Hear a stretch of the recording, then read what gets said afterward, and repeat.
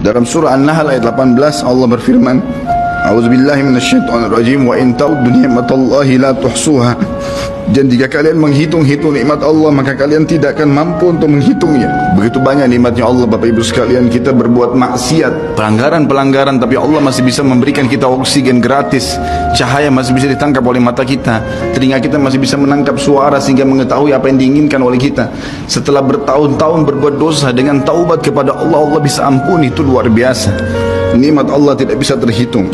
Rugilah orang-orang yang tidak menyembah Allah Subhanahu wa taala.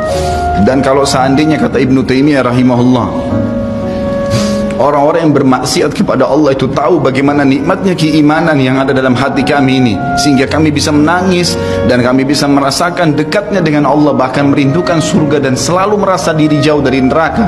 Maka niscaya mereka akan membelah dada-dada kami dan mengambil keimanan itu karena mereka tidak akan pernah merasakannya.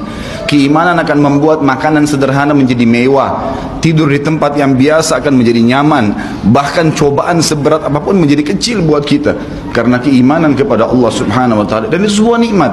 Itu hanya bisa dirasakan kalau kita betul-betul memaksakan diri beribadah kepada Allah Subhanahu wa taala